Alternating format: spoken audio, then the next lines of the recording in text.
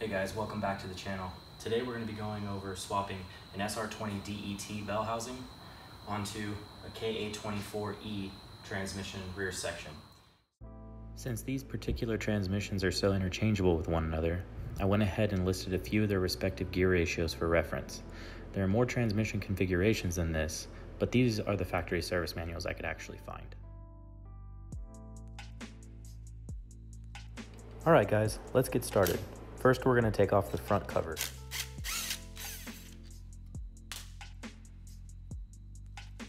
Here I'm using a 12 millimeter socket.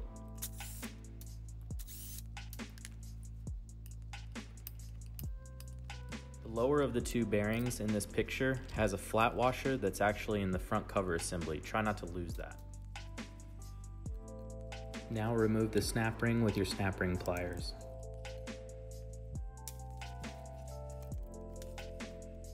So this C-clip is kind of a pain, but with a little bit of patience, it'll come off.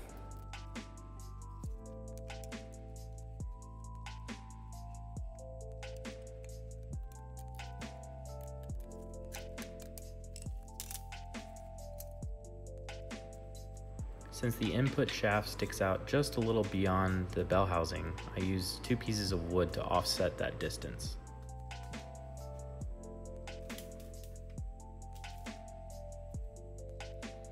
The case bolts are also 12 millimeter.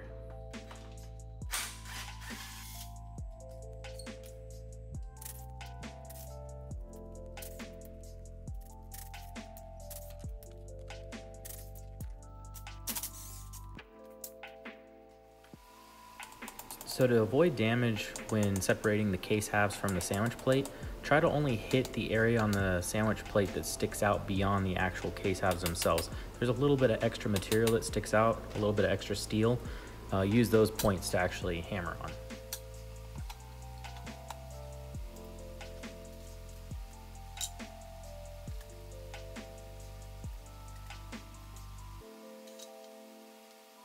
This part doesn't require a lot of force at all. All you're basically doing is just making a small gap. That way you can get small pry bars in between and separate the case from the sandwich plate.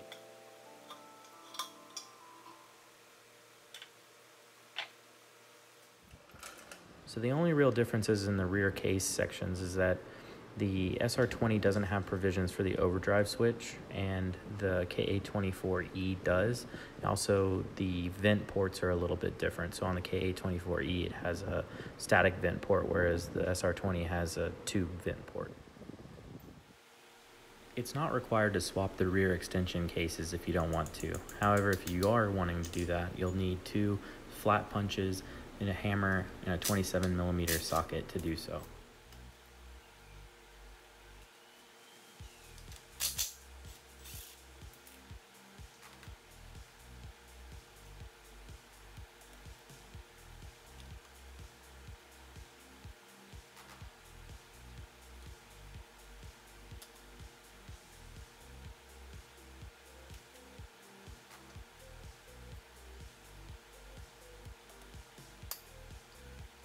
There are two expansion pins that hold the shift selector to the shift selection rod. So you'll need a smaller punch to get the smaller one out and then a larger punch to do that. And if you follow how I'm doing this, you'll actually end up pushing them both out and be able to pull them out from the uh, speed sensor uh, hole.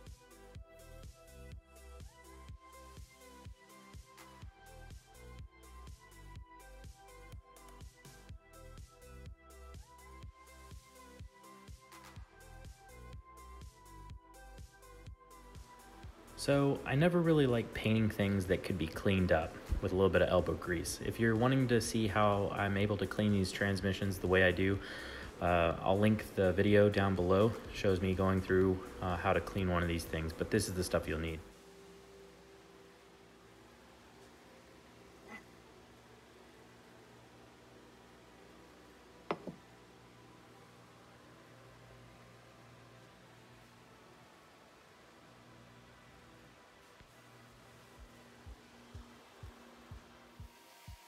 All right guys, so preparation is key here. Make sure that every mating surface is nice and clean.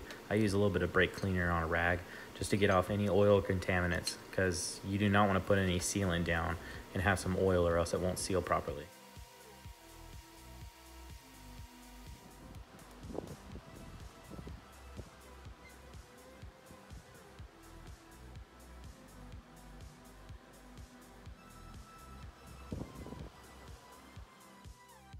For this application, I like to use RTV Ultra Gray. It works well, it seals up real nice, and there's not too many procedures that you have to follow to use it. Um, one thing is you definitely don't want to glob this stuff on there. Try to get a nice little quarter inch bead all the way around. I'm weird, so I, I you know, smooth everything out with my finger, but you definitely don't have to do that.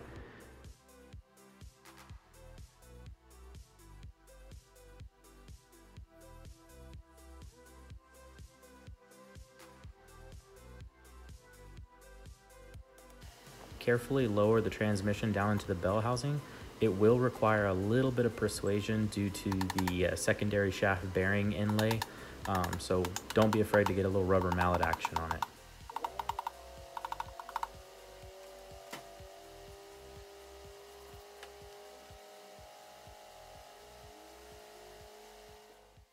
Okay, so it may look like I have OCD, but it's that important to have these surfaces clean.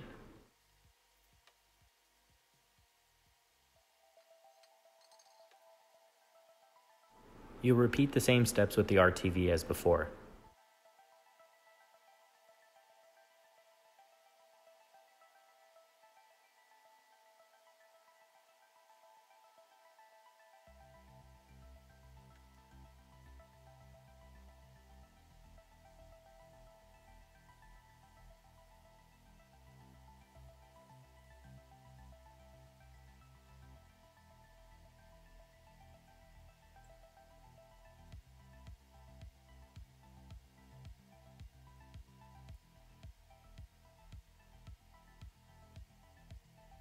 Okay, so this next step is pretty darn important, but the video kind of goes fast. What you need to do before you mate the rear section to the actual sandwich plate itself is you'll have to get the rear section hovering over the sandwich plate and make sure that you put your selector, your shifter selector, on the selector rod before lowering the case all the way down.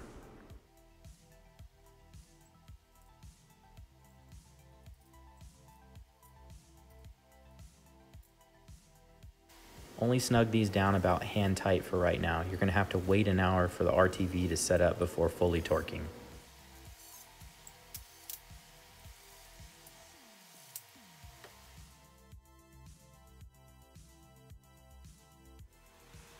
According to the factory service manual, you'll want to torque these between 12 and 14 foot-pounds.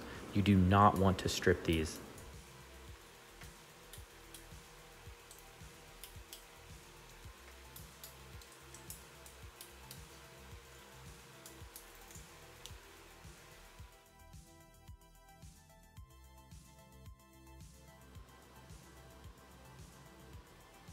Ordered a new OEM gasket and seals to ensure proper functionality.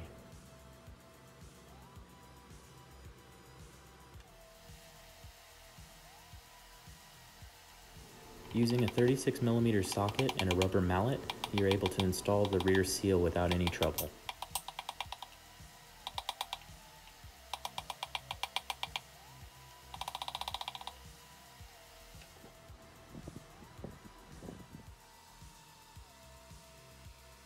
I used a 32 millimeter socket this time around and then repeated the process.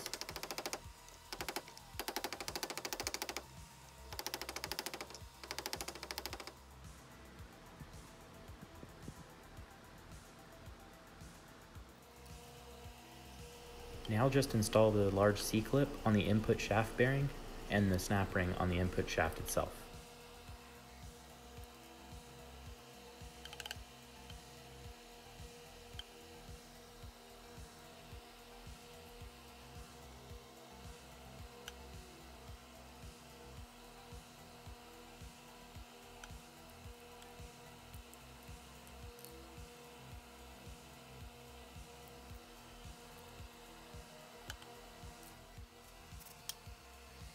So you're going to clean the area one last time, then locate the shim washer and cover gasket.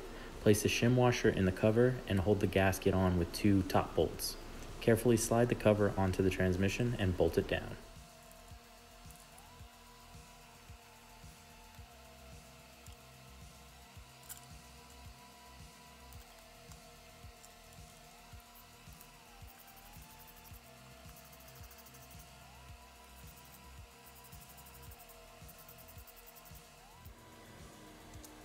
You'll torque the bolts down between 12 and 15 foot-pounds.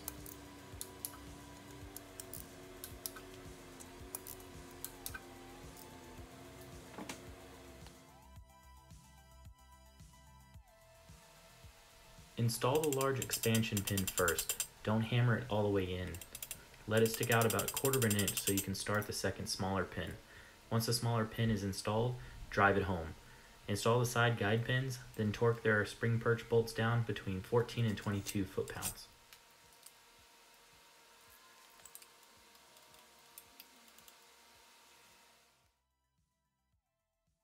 And that's it. Hopefully this video was helpful for you, and I really appreciate you guys watching it. Thanks.